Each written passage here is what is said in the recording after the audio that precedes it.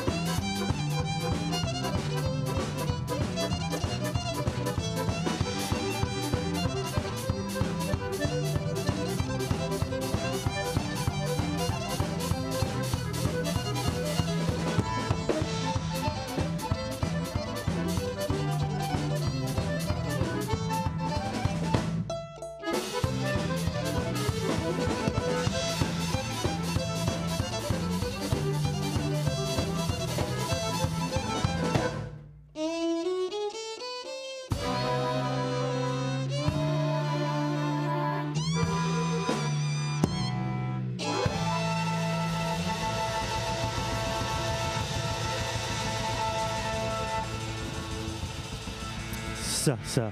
Ladies and gentlemen, meine Damen und Herren, signore e signori, Barodrom Orchestra, direttamente da Firenze, Italia. Jug, eine Reise nach Süden, eine Reise, die einen Kapitän braucht, um uns auf dieser Straße Richtung Süden auf das richtige Ziel zu bringen. Ladies and Gentlemen, Mesdames et Messieurs, meine Damen und Herren, unser Kapitän, unsere Nummer 10, Mr. Goran Kovacevic.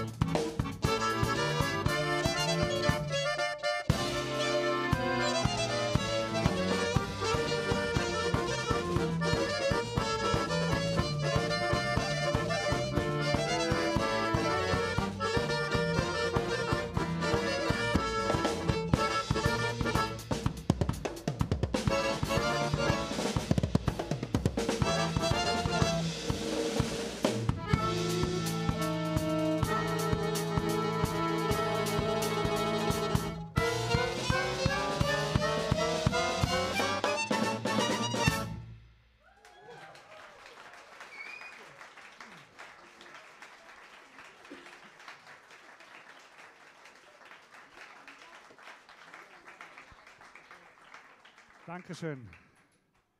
Danke vielmals. Hört man mich überhaupt? Okay. Ja, einen schönen guten Abend miteinander. Auch ein ganz herzliches Willkommen von unserer Seite. Schön, dass Sie alle da sind und alle, die, die jetzt gerade den Livestream auch äh, verfolgen von der aus. Wir haben uns sehr gefreut auf das Konzert. Der Stefan hat es äh, angetönt, die Zusammenarbeit äh, geht schon seit 2014. Jetzt die letzten drei Jahre haben wir praktisch nicht miteinander gespielt. Und da hat sich jetzt ganz viel Energie aufgestaut, äh, wo sie heute Abend die volle Ladung äh, überkommen. Genau. Ganz viel Leidenschaft, Spielfreude äh, und Lust zum wieder öffentlich auftreten und vor allem in dieser wunderbaren äh, Formation mit dem Barodrom Orchester. Ein herzlicher Applaus nochmal für die wunderbaren Musiker.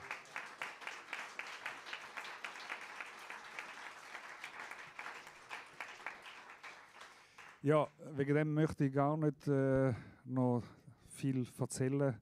Jug heißt das Programm. Wir führen sie in Süden. Der Süden ist für uns überall, wo es warm ist. Also es ist nicht unbedingt geografisch der Süden.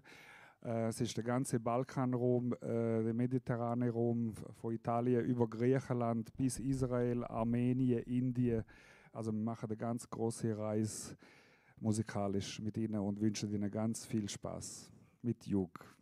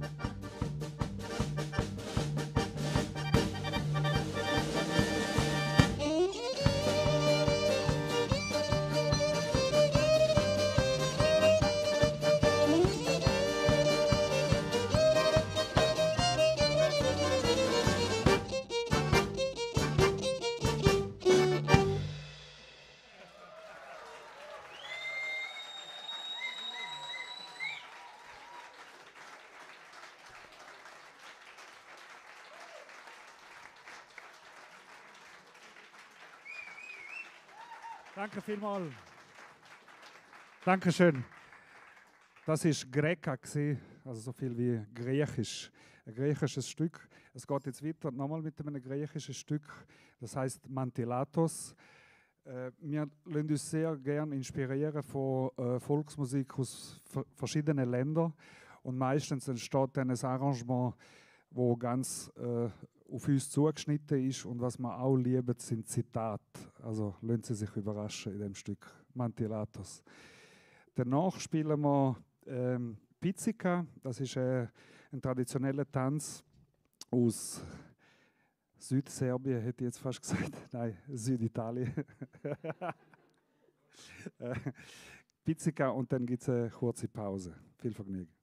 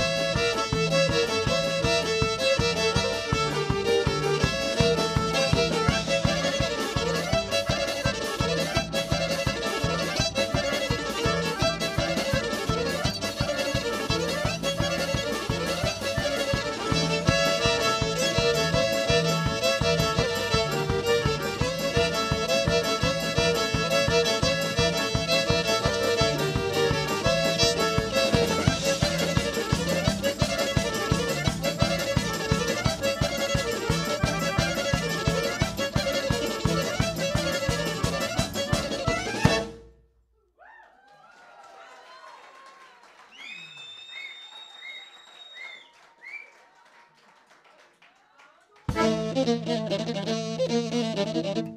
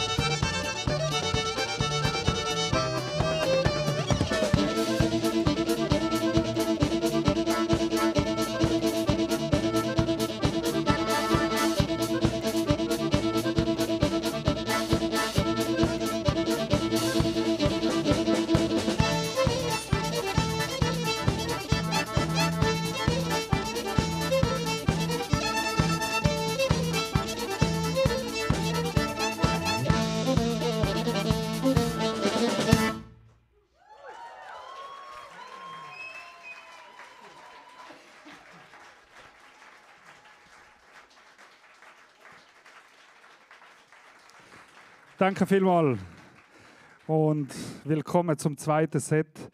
Wir haben das eröffnet mit einer Symbiose von serbischer und israelischer Musik und zu einer menschlichen Symbiose möchte ich jetzt was sagen, weil ich sehr oft darauf angesprochen werde, ja, wie ist denn überhaupt zu, dem, zu dieser Zusammenarbeit gekommen, zu dem Projekt äh, mit dem Barodrom Orchester. Äh, dazu muss ich ein bisschen ausholen. Der Modestino, mein Fratello und ich haben uns äh, vor 25 Jahren kennengelernt. Da waren wir noch so klein. Gewesen. nein, nein.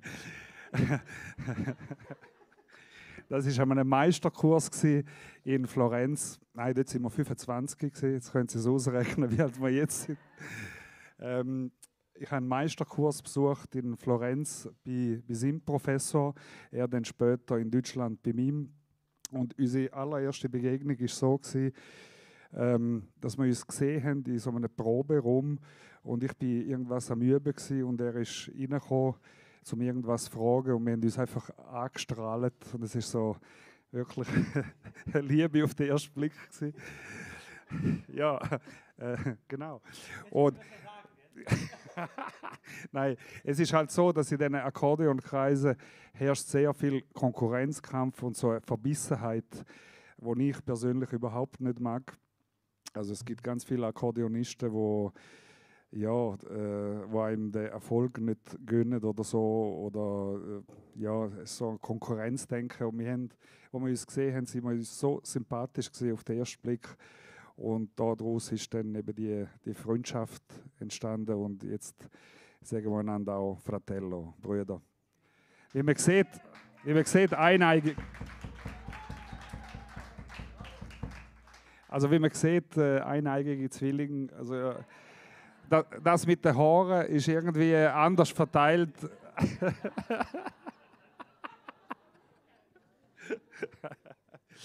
ja, und äh, wir haben in diesen 25 Jahren, jeder hat so seine eigenen Projekte verfolgt mit verschiedenen Bands, von klassischer Musik über Tango Nuevo, Balkan. Und ähm, dann bin ich 2014 eben längere Zeit in Rom gewesen und nachdem wir viele Jahre darüber geredet haben, dass wir endlich mal was äh, musikalisch äh, auf beistellen miteinander, hat es dann dort geklappt in der Zeit, wo ich sehr viel äh, in, Italien gelebt habe und dann haben wir uns das ausdenkt und miteinander probt und auch eine CD aufgenommen und spielen seitdem regelmäßig mit dem wunderbaren Programm ich bin sehr, sehr glücklich und dankbar für das. Barodrom Orchester.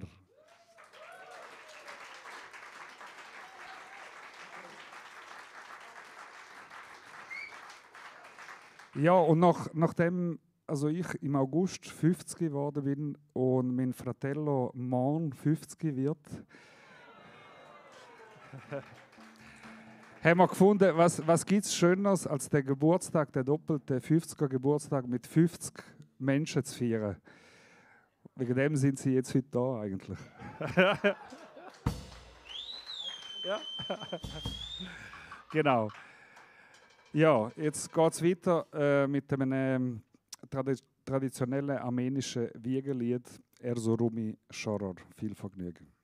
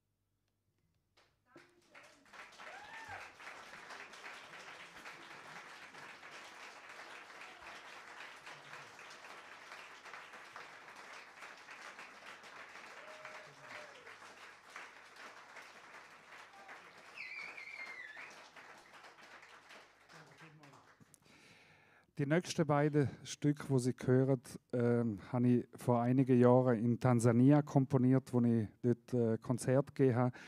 Bin so inspiriert von diesen Menschen in Afrika, wie das allererste Mal überhaupt in Schwarzafrika war. Und das hat mich sehr, sehr beeindruckt, äh, wie die Menschen dort leben, ihre trotzdem positive Ausstrahlung. Und ich hatte dann sehr viele verschiedene Erlebnisse gehabt, so auf der Straße und bin inspiriert worden, zum ein Stück zu schreiben, das heißt Sweet Tansania, hat äh, fünf Teile. Wir spielen jetzt zwei dort draus. Das erste trägt den Titel Dance. Ich bin inspiriert von diesen Menschen. Mir ist so vorgekommen, auch wenn sie nur auf der Straße laufen, scheinen sie zu tanzen. So ist mir vorgekommen. Also es ist immer so ein Move, so ein Groove. Und äh, das zweite Stück heißt Pole Pole, das heißt vom Swahili übersetzt langsam, langsam. So ähnlich wie es die Italiener auch sagen, Piano, Piano. Weil das ist das Erste, was ich dort gelernt habe in Tansania, äh, als westeuropäischer, hektischer Mensch, der gewöhnt ist, in einem Tag 20 Termine zu haben und überall umrennen und hetzen und so, äh, ist es in Afrika so, man lernt sehr schnell, dass man pro Tag sich nur eine Sache vornehmen mehr, mehr geht nicht. Und dann, äh, alle sagen immer Pole, Pole. Also egal, wo man ankommt, das heißt immer Pole, Pole. Und das habe ich, hab ich dort wirklich äh, äh, auf eine schöne Art und Weise gelernt, dass man alles eigentlich kann auch langsamer machen und eigentlich viel entspannter kann sein. Also jetzt Dance und Pole Pole.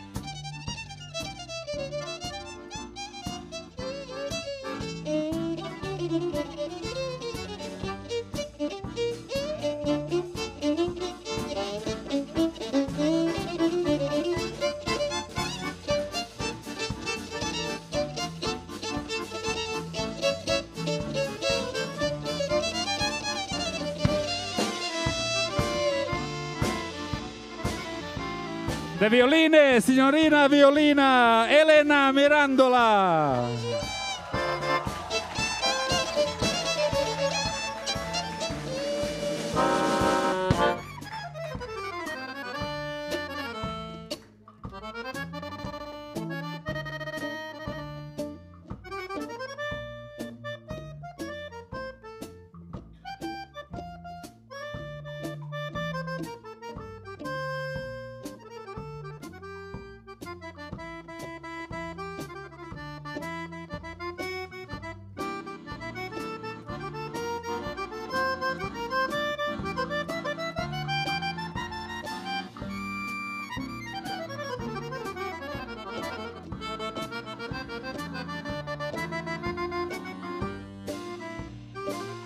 mio fratello Modestino Musico.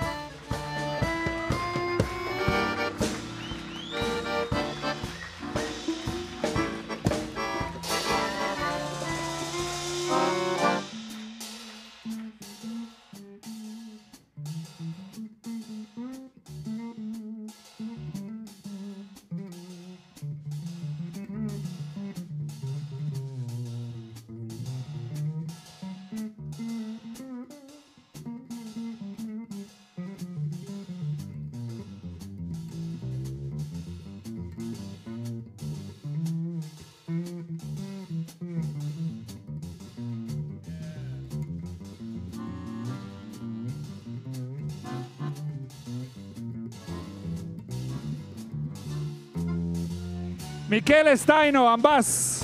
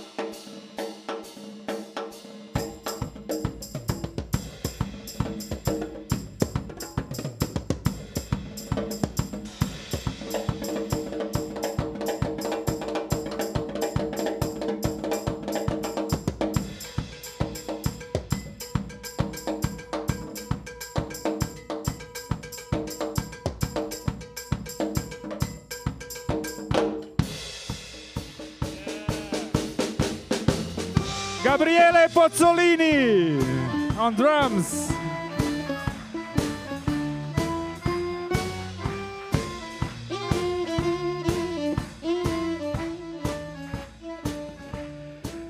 An dieser Stelle auch einen ganz herzlichen Dank für die Einladung vom ganzen Kult X-Team. Danke Stefan, danke Christine, dass wir hier da sein dürfen. Dankeschön.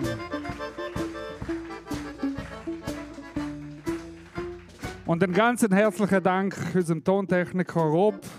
Danke Leonie für den Livestream. Herzlichen Applaus für die beiden dort oben.